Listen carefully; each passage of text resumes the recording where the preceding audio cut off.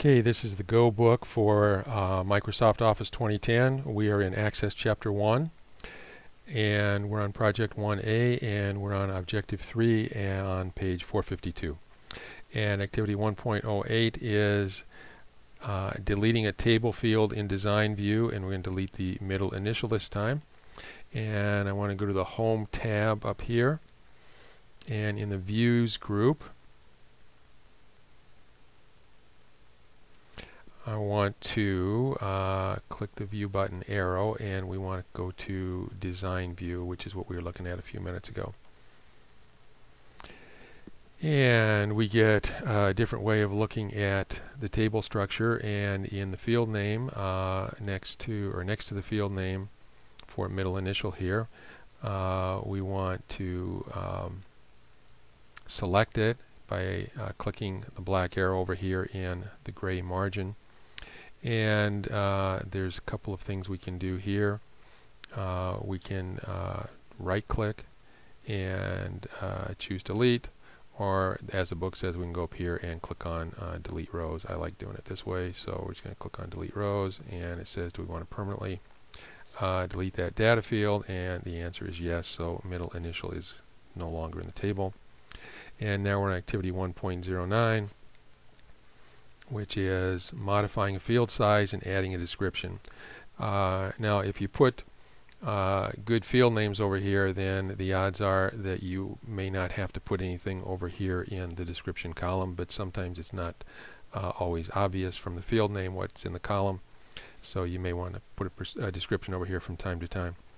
Um, now what we're going to do here is we move down to the state column here. Notice whenever I change a row up here which defines one of the columns in my table. The stuff down below changes. So um, these are properties of the state slash region column. And right now its field size by default is always 255.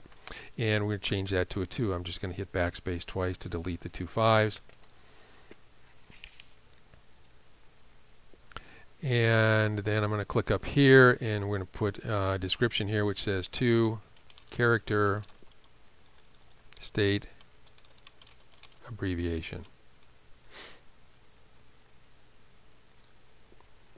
And then we go to the student ID field and um, we're going to change that field size to 7. So just drag your mouse over the 255, change it to 7.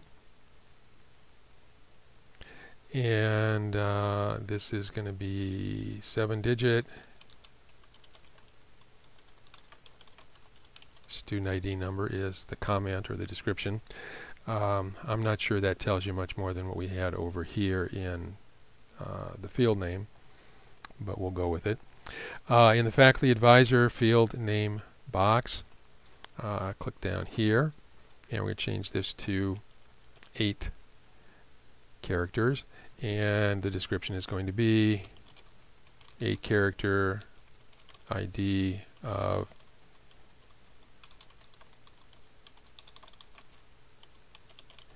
the faculty member assigned as advisor. And um, now we're going to click on the close button up here and it'll ask, automatically ask if you want to save the changes and we'll say yes. And it says we might lose some data because we shortened those numbers from 255 to 2 and 7 and 8, but we know we're not going to lose any data because those are the right sizes. So click on yes. We do want to continue. And now we're at the bottom of page 454, activity 1.10.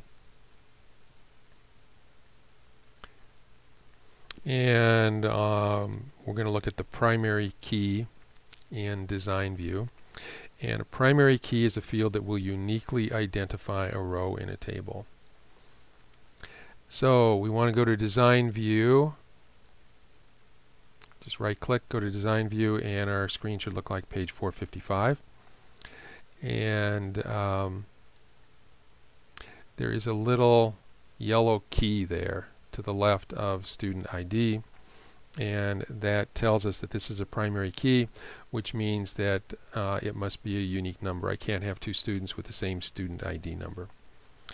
And um, on the design view or the design tab rather um, in the views group which is over here. Notice the view button contains a picture of a data sheet indicating that clicking that button will return you to data sheet view. So if I click on this uh, we're back to data sheet view which is basically spreadsheet view. Okay now we're on page 455 activity 1.11 and uh, we're going to add a second table by importing a spreadsheet.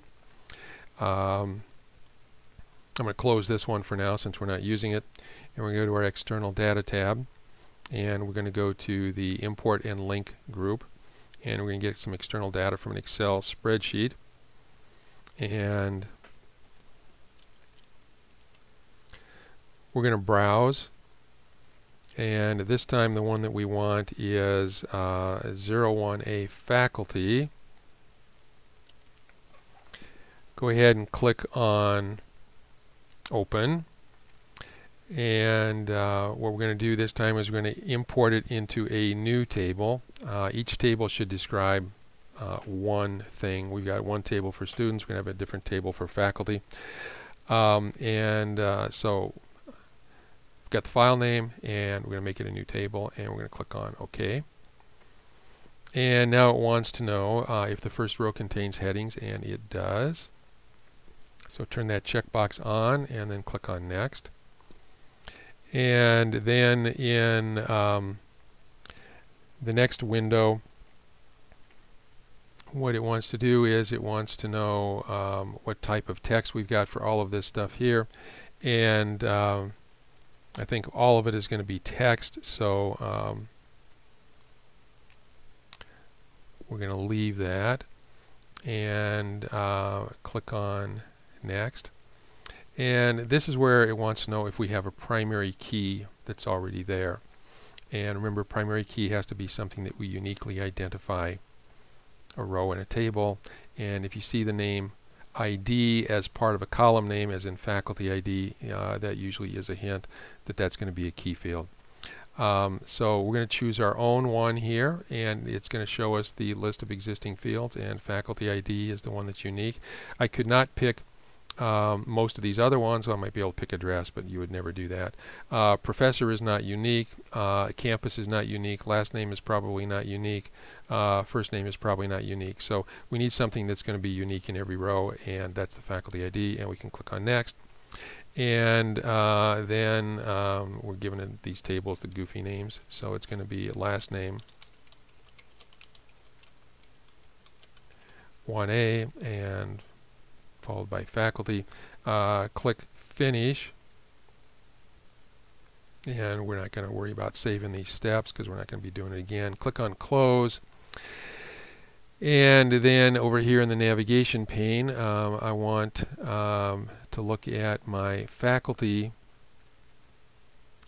table. So double click on it and there it is. They want us to close the navigation pane so we'll close it. And then we want to go to the zip postal code, postal code, let's try that again, postal code field and on the ribbon click the fields tab. And in the formatting group we want to change the data type to text. And that may not make any sense but um, unless you're going to be doing arithmetic on a field like this, uh, you typically will make it a text field rather than a number field. Uh, now we're at the bottom of page 457 and we're talking about adjusting column widths. And uh, I want to click the object tab for my 1A students table. So uh, we need to go back here and click 1A students. And um, we are opening that up. Okay, he said click on the tab because he hadn't closed it now. Uh, if you've already closed it, there won't be a tab like this, and you'll just have to double click on it. And point to the right edge of the address field, and we'll get a two-headed arrow, just like in Excel, just like in most Windows applications. A two-headed arrow means that you can resize. And uh, we're going to uh, double click, and this works just like in Excel. If you double click, it'll make it wide enough to accommodate the widest column. And um, we want to do the same thing with uh, go to the phone number field here. And right click to select the entire column and we'll get a pop-up menu. And uh, we want to click field width.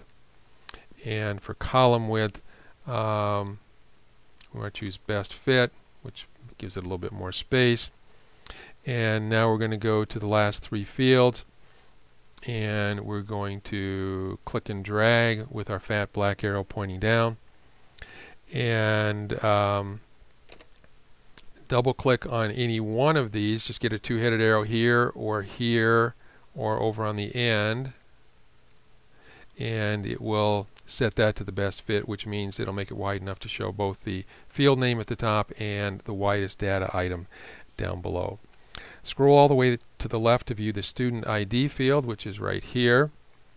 And to the left student ID field click the select all button and that's this little button here. It works just like it did in Excel. Uh, if you click on this little triangle here which is kind of hard to see um, it selects everything in the table.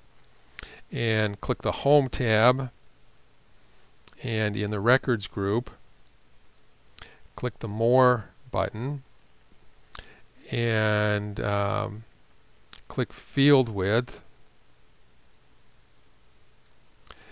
And then um, click best fit.